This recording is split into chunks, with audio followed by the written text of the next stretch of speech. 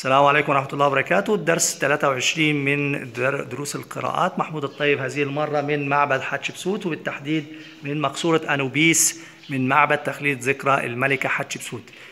آه، هنا في آه، المقصورة بعد ما دخلت عديت هي صفة الأعمدة ثلاث صفوف.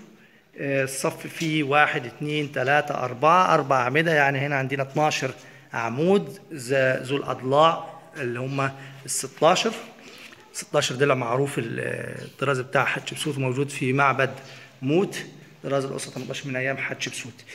المهم هنا في نص عجبني آه، ممكن يتجري ويكون ممتاز.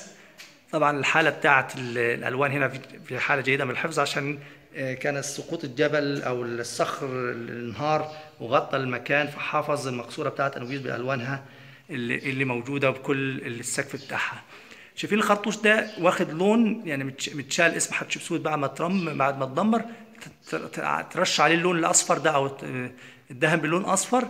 بعد الخرطوش في كلمة إنبوه نبتا جسر وميري وتحت الميري في حرف التي متشال عشان صيغة التأنيث. وبعد كده آه، آه، دي عن جد واس اوت ايب وفي حرف الإس اللي هو بتاع صيغة التأنيث suffix pronoun third person اللي هو معناه her مي راعجت فالنص ده يتجري نخلي بالنا من حتة مهمة ادي الزوم. بعد الخرطوش إحنا جاي كلمة إنبو.